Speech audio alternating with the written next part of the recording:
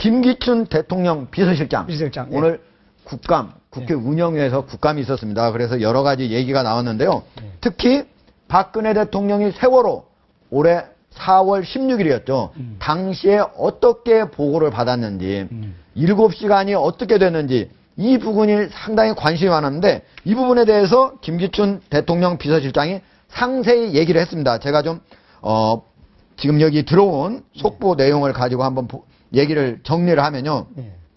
당일에 오전 10시에 서면 보고를 받았고 예. 그리고 10시 15분에 대통령 안보실장과 통화를 했다라고 그럽니다. 그러면서 직접적으로 전화로 단 한 사람의 피해자도 없도록 지시를 하라. 이렇게 얘기를 했고요. 그 다음에 15분 뒤인 10시 반에 해경청장 그리고 안보실장과 통화를 해서 특공대를 투입을 하라라고 지시를 했다라고 그럽니다. 그 이후에 그 이후에는 계속적으로 다른 보고 받고 비서실에 서면 보고를 받고 또 쭉 보고를 받은 이후에 예, 2시 57분에는 구조 인원이 몇 명인지 예, 확인을 했다라고 그럽니다.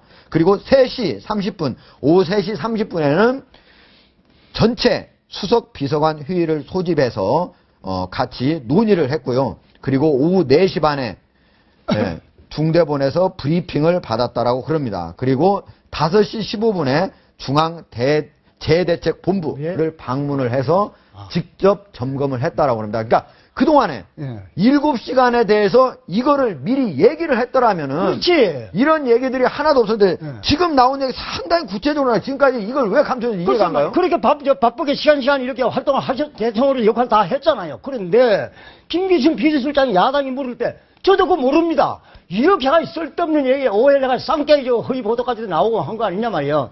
김기춘 비서실장이 그렇게 원만하고 노련한 분이고 경륜이 높은 양반이야. 네. 근데 어떻게 해서 저렇게 해가지고 저렇게 저 시간 시간 일정이 있는데도 나도 그거 모릅니다. 아, 야당 입장에서 보세요. 대통령 비서실장이 대통령의 동정을 모른다 그러면 아 대통령 행방불명이라고 이런 루머가 나올 수밖에 없지 않느냐. 네. 그 과정이 있겠죠. 뭐 의도적으로 저렇게 할 특별한 뭐 뭐가 있을는지 모르겠습니다만 어쨌든 김기춘 비서실장이 그때 답변을 잘못한 것이고 오늘 국회 운영위에서의 답변을 통해서 7시간에 대한 그 의혹은 풀렸다고 좀 이 그저는 해석을 합니다. 그렇게 좀 그러니까 미리 좀 이런 것들을 얘기했더라면 야당의 정치 공세도 없었을 거 아닙니까? 아니요, 그러니까 그 점이 굉장히 답답하고 어찌 보면 좀 심하게 얘기하면 좀 한심하죠. 네.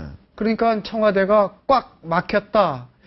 그 다음에 김 실장께서 문제가 심각하다. 소통에 문제가 있다는 것이 여실히 아마 드러난 대목이 아닐까 생각이 됩니다. 저는 개인적으로 그 당시에 17시간 동안 대통령이 뭘 했나, 이거는 세월의 핵심은 아니에요. 네.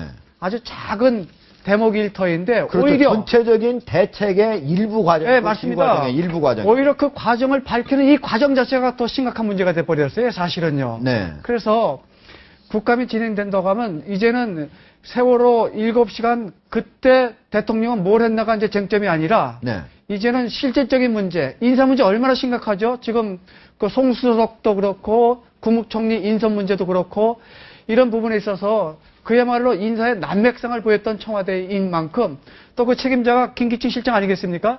이 부분에 대한 아마 국감에 치열하고 그다음에 아주 치밀한 그 이 논리 전개가 좀 필요할 듯해요. 이게 예. 그 공자님 말씀에 논어에 나옵니다. 과공비례. 예, 과공비례. 너무 지나치면은 예가 아니다. 예.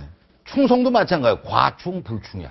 지나. 아, 과충, 불충. 너무나 충성을 하려면 그. 충성이 아니다. 예, 김기춘 예. 실장의 퍼소널리티는 우리 일반인하고 다릅니다. 네. 저 사람은 온몸을 던져서 저 하는 거야. 그러니까 그 어떤 사람이 대통령 되더라도 김기춘 실장 같은 사람 두면은 수족이 편해. 예? 네. 그 역할을 하지 손발 역할을 다 하는 겁니다. 예. 그러니까 이게 좀 문제가 생길 수가 있어요. 그런데 예. 이 수, 혀 역할, 수족 역할, 이 저그 조화라고 그러죠. 네. 손발, 예. 어금니, 또 혀와 예? 입술 이게 역할 분담이 돼야 돼요. 혼자서 다 하면 안 돼. 그러니까 네.